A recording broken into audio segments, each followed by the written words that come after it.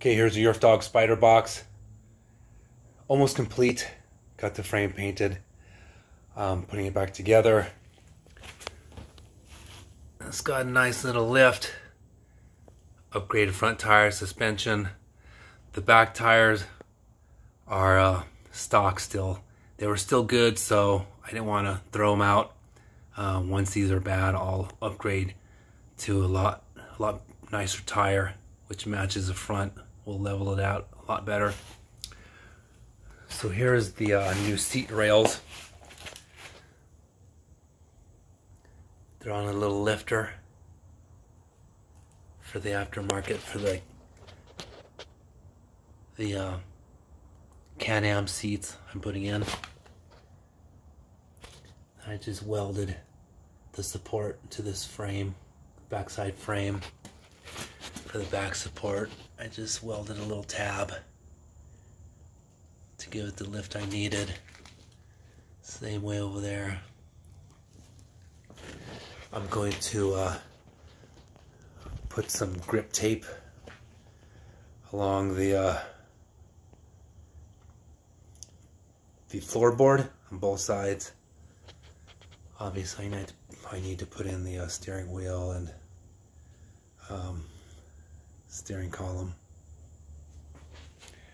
So here's the uh, engine 420 Predator. There's the uh, 40 series torque converter. I've got it rotated the, the opposite direction. Um, there wasn't enough room to rotate it that way because the uh, that swing arm uh, loop support. Um, worked out really well.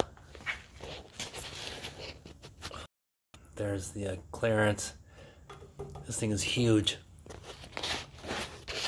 Um, I don't know why they added all that metal there, but um, I think it's heavy duty. That torque converter. I got a 62 sprocket, and uh, I do have room to uh, go bigger if I wanted to. So that's a plus. There's a nice little touch with a uh, oil drain plug.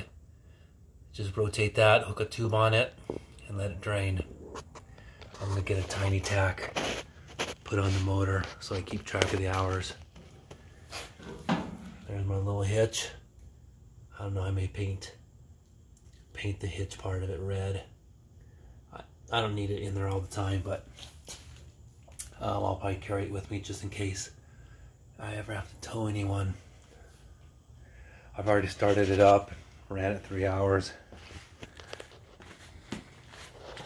for break-in period. So uh, the shocks and everything is sitting pretty level.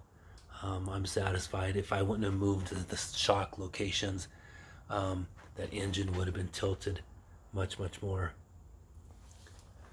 So, happy with progress.